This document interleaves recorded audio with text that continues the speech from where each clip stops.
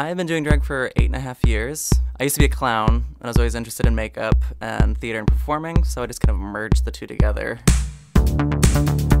It's hard to just learn how to do makeup in one sitting or a couple sittings. Like, my makeup is still changing.